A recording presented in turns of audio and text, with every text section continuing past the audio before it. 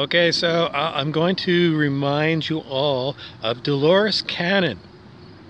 Uh, she was a professional hypnotist and she specialized in regressing different people to the same place. And that place was where she could have a continuous conversation through, uh, let's go with thousands of different individual humans. This weird or what? Dolores Cannon, the hypnotist. Let me explain it again. She was a hypnotist and she had an office. And people would come to the office for, let's say, an hour. And Dolores would uh, first uh, hypnotize them. And then um, whatever they had wanted to do. Maybe they wanted to stop smoking hypnotists, they usually are stop smoking, stop gambling is quite uh, frequently what they do. And then the other one that people hear about is uh, hypnotic regression. I want to know what my past lives were. Was I Cleopatra? So uh, it's very easy for a hypnotist to guide you into so-called past lives. Anyways, um, Dolores at one point connected with a certain let's call it a voice. And this voice was telling Dolores the true state of nature here on planet Earth. And it's very different than the um, description of reality that we get from um, our friends and family. Dolores said that um, well, the one that I want to really get to is she said there are what are known as background people in our lives. What's a background person? Well, you could go and listen to Dolores talk about uh, what she heard directly from the voice. Otherwise, you're getting it secondhand from me. So I'm going to recommend that you go onto YouTube, uh, just do a search for Dolores Cannon C O Cannon. C A N N O N. Dolores, D E L O R E S. Dolores Cannon. And then put in backdrop people. Because that's what she called them. Backdrop people. And uh, I'll just summarize what I got out of it. Uh, some humans that look human to you aren't. Are we living in? It's like Jumanji.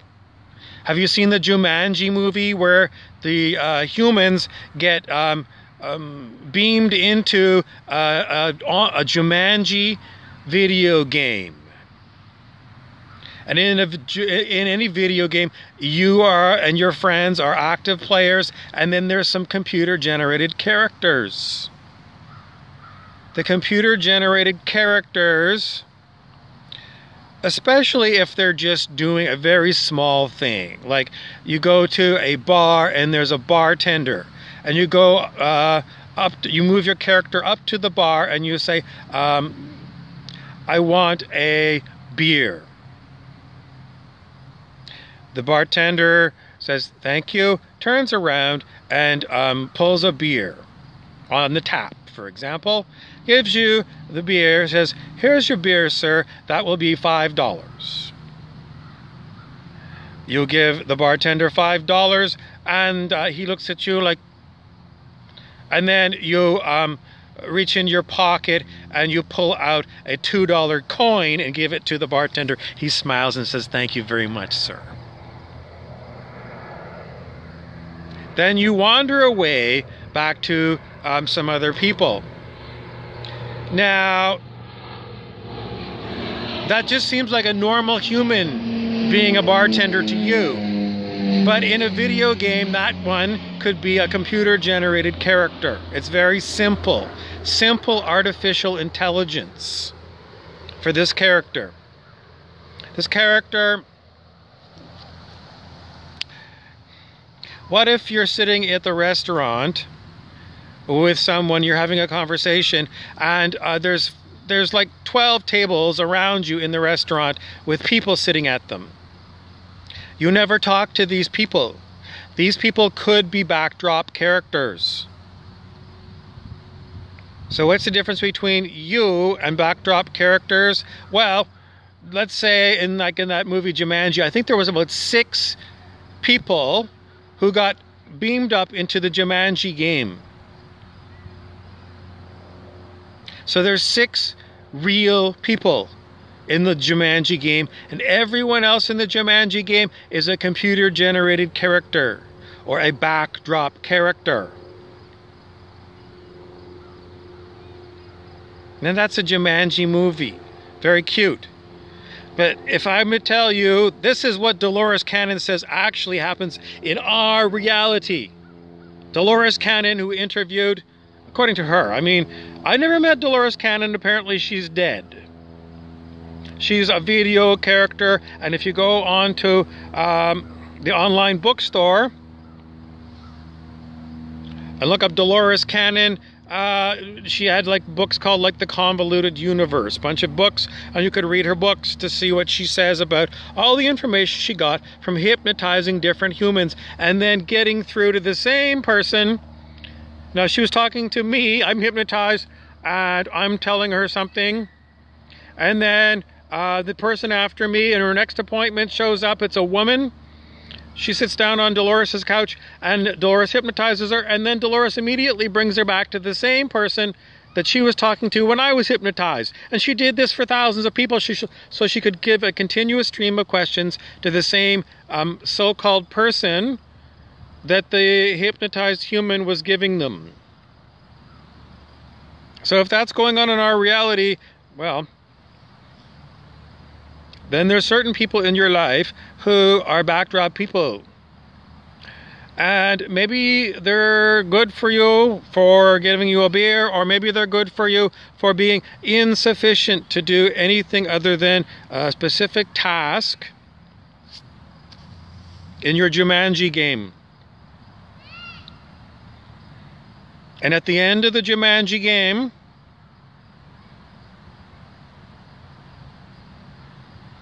Hmm. This is the interesting one. Because, it, uh, uh, you know, in the old school games that we played on computers, a desktop computer, and we loaded up uh, Microsoft Windows, and then we would load up a game like Quake, was was a first-person shooter game. And in the end, um, when we were done playing for we, we we could either pause the game and leave the computer on or we could uh, just turn the game off and um, turn off the computer till the next time you want to play.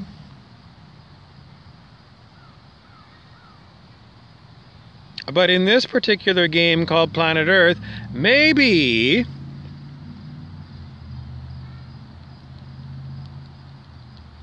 Like in Jumanji, you had to win. Your team had to win something in the Jumanji world in order for you to exit the game and go back to where you first entered the game, which is next to the table with the video game console with the cartridge called Jumanji.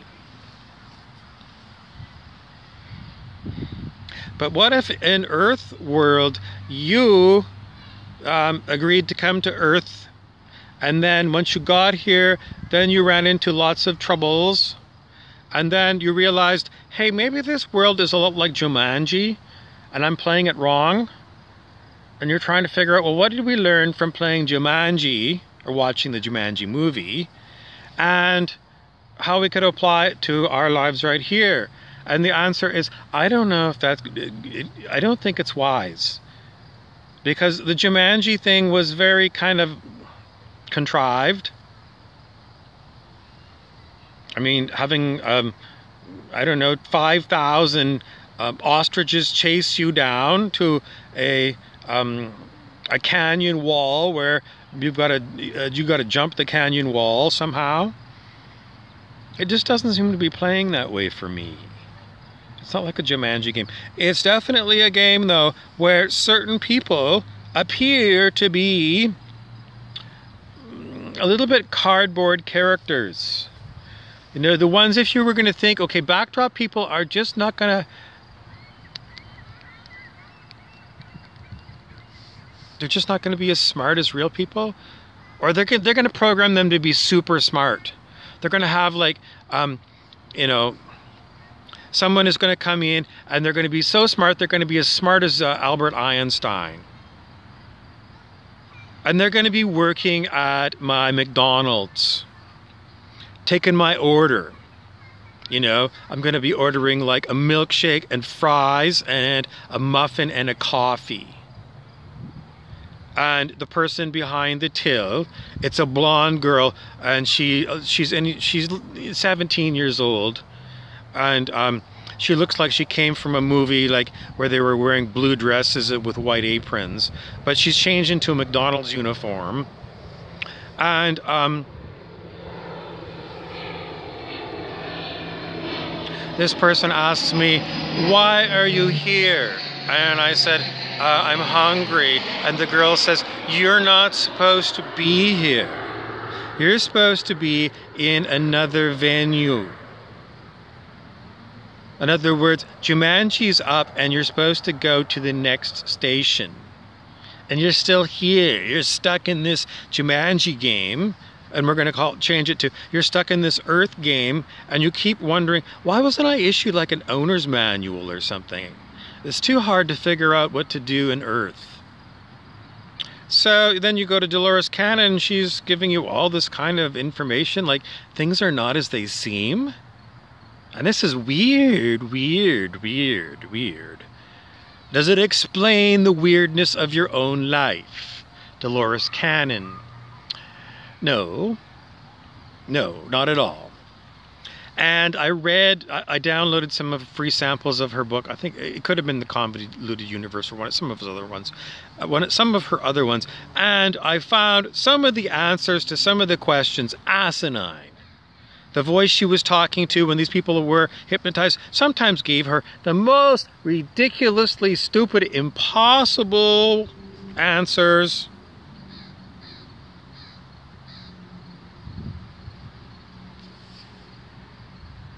They make you think, you know, whoever this voice is, it's not a voice that really knows anything at all. It's a voice who's like stringing you along, Dolores. You've got all these fantasies going on in your head, fantasy programs, Dolores. And one of the fantasy uh, programs that Dolores has running as a program that she doesn't even know is We're Here to Save the Earth fantasy. A lot of people have this program going, this fantasy that you are here to change the earth. No. In fact, Dr. Hawkins of consciousness research said that basically that that earth is a purgatorial planet which is like a catholic roman catholic word for a place you go after you die it's a waiting room. You're not in heaven. It's a waiting room. Purgatory. And, you know, people, like the, the church people say, well, you know, you're here, and then when you die, uh, you go to purgatory. Pretty much, they don't say, I'm not Catholic, but pretty much they say, uh, you go to purgatory is the next step on your journey, the soul's journey, after you die here on planet Earth. But Dr. Hawkins of consciousness research found out that actually Earth, where we are now, this is a purgatorial realm. And then if you go to like Aaron Abke, who talks about the law of one and the densities of souls, this particular density of souls is set up for you to become a, a polarity in the law of one terminology. Uh, the polarities are service to others or service to self. And a planet like Earth is where you choose one or the other ways. According to the law of one stuff, and you know, am I expert on it? I've heard of quite a few lectures on it. I mean, you can always be more expert, and you can track me down, you know, looking and trying to figure out how I'm wrong and explaining this. And in the end, good luck. But uh, the idea is this is a um, a certain density planet where souls come here and in the law of one teachings which is the story about how you can classify um, different civilizations, let's say, on different planets throughout the galaxy. And if you're going to become an advanced soul, quite likely you're going to be in um,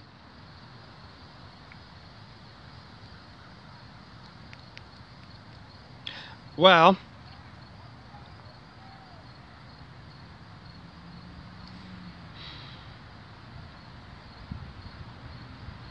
it's just that they have densities and when you go to these higher densities in their system I believe, if I've got it right, the souls that are in these particular realms are uh, more advanced than us here on planet Earth.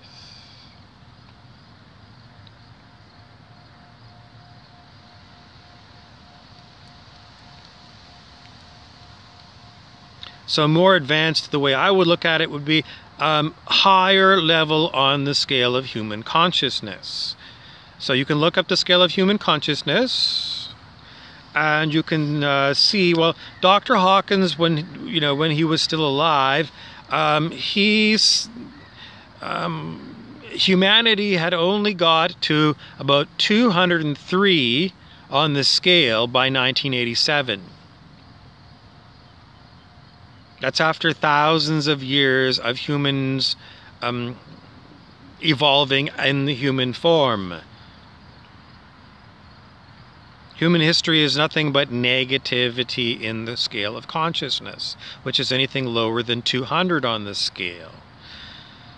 So, you know, maybe there's planets, well, according to the law of one, there are places, let's call them planets, where um, humans like us, hang on, crap coming out of my mouth implants or something. Okay, so uh, at the higher levels of consciousness, uh, then these people uh, can go to different planets where there's more people of higher consciousness than here. They've already chosen their polarity, and then they go um, live their life, um, and it's not as difficult as planet Earth because uh, you're not needing all of the horrible, horrible that you experience here in a planet that you call purgatory. How do you get to heaven then? You need to go to the celestial realms. And in the celestial realms, uh, if you remember in Lord of the Rings, I think a celestial realm example would be the land of the elves.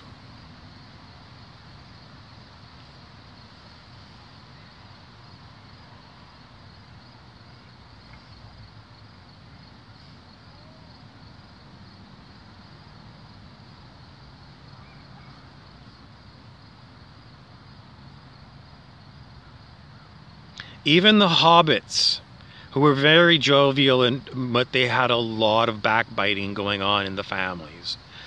The the even the hobbits uh, when they went to like Rivendell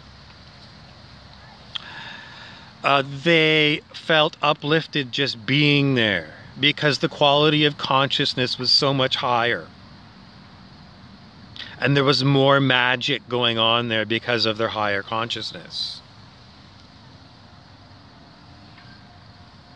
and it was more beautiful. And they just felt better there. The vibe was better. And that's coming from Hobbit's Land, which, you know, was when we saw it in the movies, it was a very beautiful place.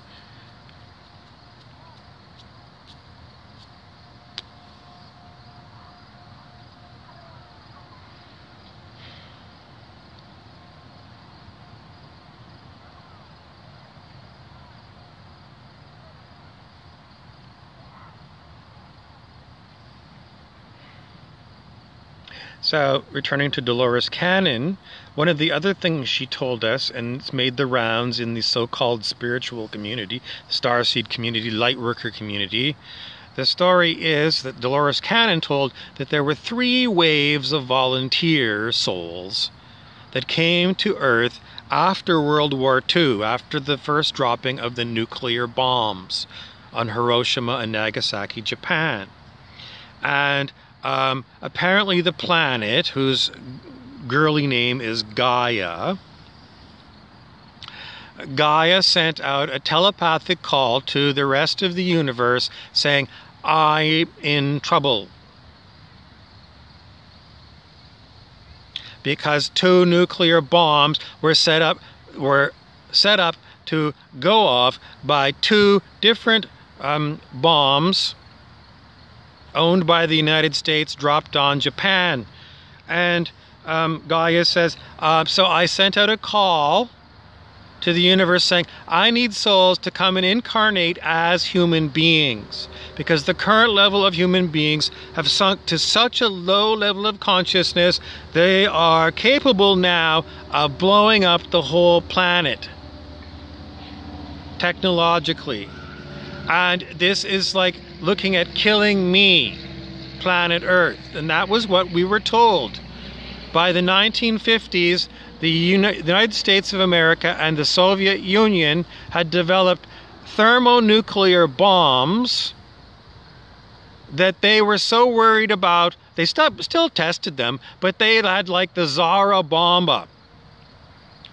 The Tsar, Tsara bomba was the mother of all thermonuclear bombs, and the Russians, or the Soviet Union, as they were called then, um, we were told that they launched a rocket up way up in the sky, way up in the, I don't know how many, um, huge elevation.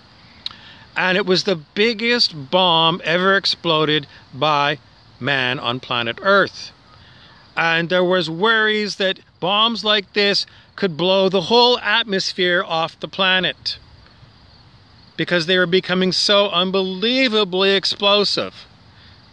No more air on planet Earth. Ergo, everything on planet Earth is dead. So planet Earth was, um, Gaia was totally serious, uh, telling the universe, uh, I'm facing extinction, me, this whole planet. And she looked next door to us and she pointed at the asteroid belt. You've heard of the asteroid belt? Well, the, the asteroid belt that circles planet Earth uh, some tales are that it is a blown up planet. A whole planet was blown up by, you know, people. So she was saying, um, the rest of the universe, it's basically, I'm look, look, at that, that's where I'm headed. I need help. So uh, she said, I need advanced souls with high consciousness. On the scale of human consciousness very high. I need these people to incarnate in other words become human babies so that we can get uh, the consciousness level of the human population way up.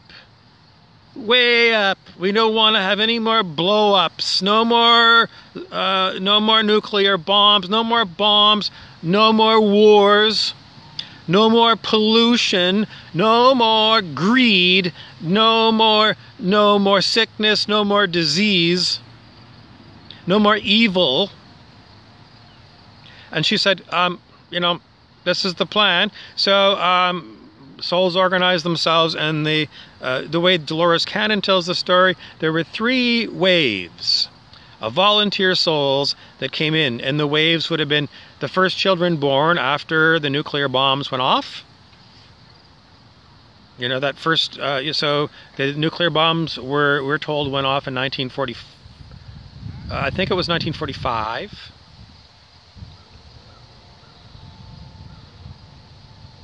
So say starting in like 19, uh, 1946, some souls were incarnating as human children on planet Earth. And that went on for, let's say, from 1946 to 1960. 1960. That's one wave of volunteer souls that are, um, they have to grow up in, in as human babies. And then after that, then there was a second wave starting in like 1961 a second wave of volunteers that were in this new time period. And then following that generation, then another wave, another group. three waves of volunteers that bring us to not quite now because Dolores Cannon, um, she made these videos. Um, I don't know. Let's say less than let's go 10 years ago. So I mean we've advanced in time since that time. So uh, where does it stand? Well, the idea was um, it was going to be a very difficult mission because if you became a human baby, you're not going to remember who you were before you became a human baby as best as we can figure it out. Maybe some babies did remember, but not me. I don't remember past lives. Uh, but the story is that uh, you would have to um, grow up as a normal human child into a normal human adulthood. And somehow, because your soul carries the right residual consciousness of your previous life from some other more advanced civilization, somehow that consciousness would force its way into you as a human and it would um, force you to change and become a tool of your primary mission to planet Earth to raise the consciousness so we change the systems of control on planet Earth. We change the way we have rich and poor on planet Earth. We promote uh, the thriving of each individual human, freedom from economic slavery,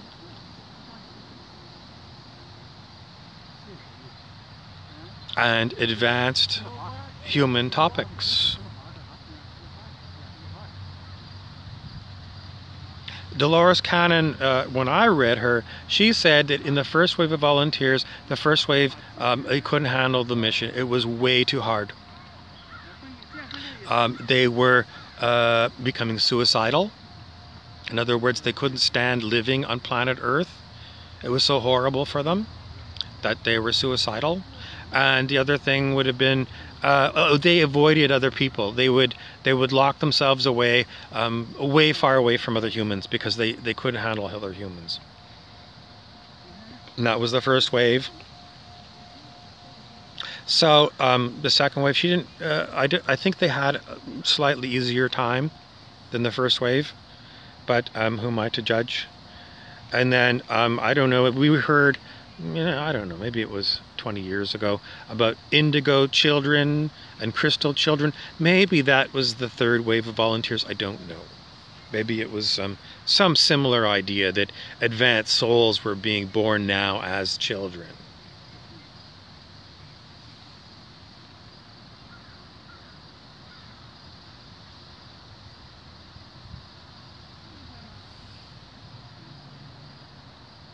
What proportion of people that incarnated in 1963 were these advanced souls that chose to incarnate here into Mission Earth? The answer is I don't know. I can't. I was going to muscle test. I tried to muscle test to get an answer. Uh, anyway, the answer is I don't know what percentage of uh, souls coming here. But you could try muscle testing to see if you can get the answer. And if you want to know about muscle testing, um, you could get one of those Dr. Hawkins books because there's always an appendix that explains muscle testing, or you might be able to find a, a video somewhere. But, anyways, um, Dr. David R. Hawkins, David R. Hawkins, and you could get Transcending the Levels of Consciousness it's one of the uh, if you're only going to get one of his books that's probably a good one to get